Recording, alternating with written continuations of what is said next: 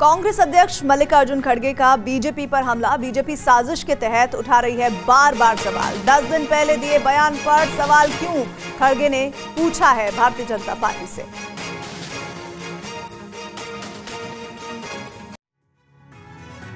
राम मंदिर में प्राण प्रतिष्ठा के निमंत्रण को अस्वीकार करने पर बीजेपी की ओर से जारी बयानों पर कांग्रेस के राष्ट्रीय अध्यक्ष मल्लिकार्जुन खड़गे ने कहा है, आस्था रखने वाले लोग कभी भी अयोध्या जा सकते हैं। उन्होंने कहा कि बीजेपी साजिश के तहत बार बार ये सवाल उठा रही है। मैंने तो करीब दस दिन पहले ये कहा था, फिर भी बीजेपी पलट पलट कर वही सवाल कर रही है। ये एक कॉन्फ्रेंस ही है बीजेपी की, और बीजेपी यही मुद्दे को बार बार उठा रही मैं तो दस दिन पहले बोला हूँ, फिर अब क्यों उठा रहे आप? तो ये हमारा जो है, किसी को दुख पहुंचाना, किसी रिलीजन किसी धर्म को, किसी गुरु को ये हमारा मुद्दा नहीं है।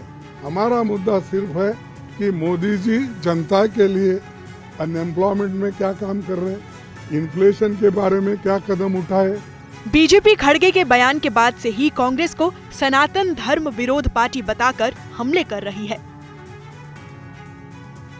तो कांग्रेस की ओर से प्राण प्रतिष्ठा में शामिल होने के न्योते को ठुकराने के बीच बड़ी खबर सामने आई है, जहाँ कांग्रेस नेता इमरान मसूद का भगवान राम पर बड़ा बयान। हम सब राम के वंशज हैं। ये कहना इमरान मसूद का, राम हम सब के आराध्य या आरएसएस बीजेपी का आयोजन है, ये भी इमरान मसूद की ओर से कहा गया।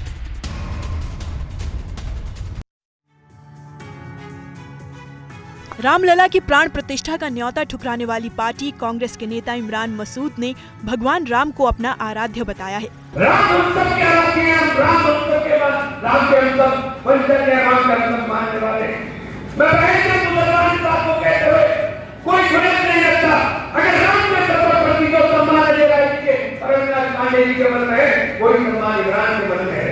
राम के हम मानने वाले हैं, लेकिन आरएसएस के आयोजन या एक भारतीय जनता पार्टी के जो आयोजन है क्योंकि नेगेटिव प्रचार हमारे प्रति किया जाएगा दूसरी ओर एआईएमआईएम अध्यक्ष असदुद्दीन ओवैसी ने कहा कि वो हमेशा 6 दिसंबर का ज़िक्र करते रहेंगे। उन्होंने कहा कि अगर 6 दिसंबर नहीं होता तो क्या होता?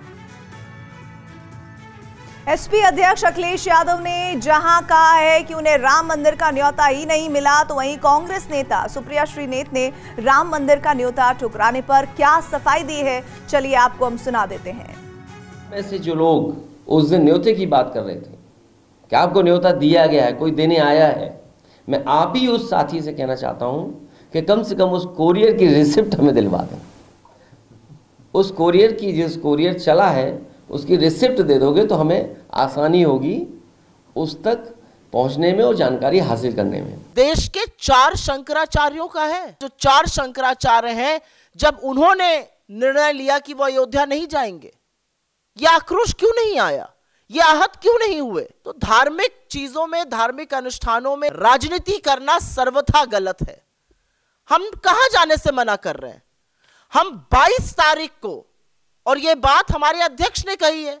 हम 22 तारीख को जो अयोध्या में मोदी जी के नाक के नीचे, मोदी जी की प्रेजेंस और आरएसएस संघ के प्रमुख की प्रेजेंस में हो रहा है, उसमें नहीं जा रहे हैं। जहाँ हमारे शंकराचार्य नहीं जा रहे हैं। हम जो विभत्स राजनीति की जा रही है, उसका हिस्सा नहीं बनना चाहते हैं। और इस बीच कांग्रेस को आचार्य प्रमोद कृष्णम की नसीहत भी सामने आ गई है। राम को किसी राजनीतिक दल से जोड़ना सही नहीं। कांग्रेस अपने निर्णय पर पुनर्विचार करे। दरअसल कांग्रेस ने प्राण प्रतिष्ठा में शामिल होने की नियति को ठुकराया उसी पर ये बड़ा बयान सामने आया।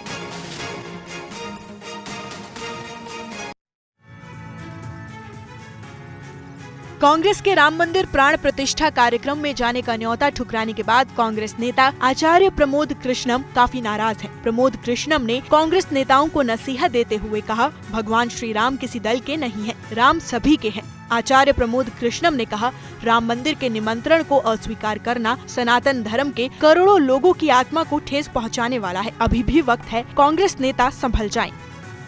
पहली बात, राम को किसी दल से जोड़ना ठीक नहीं दूसरी बात यह है कि मैं कांग्रेस के नेता के रूप में अयोध्या नहीं आया हूँ, मैं राम भक्त के रूप में अयोध्या आया हूँ। और जिन लोगों ने भगवान राम के मंदिर के निमंत्रण को अस्वीकार किया है, मैं उन सभी नेताओं से कहना चाहता हूँ, अभी समय है, अभी वक्त है, अपने फैसले पर पुनर्विचार करें। मैं इस पावन अवसर पर इस इस तरह की घटिया बयानबाजी और घटिया राजनीति की निंदा करता हूँ।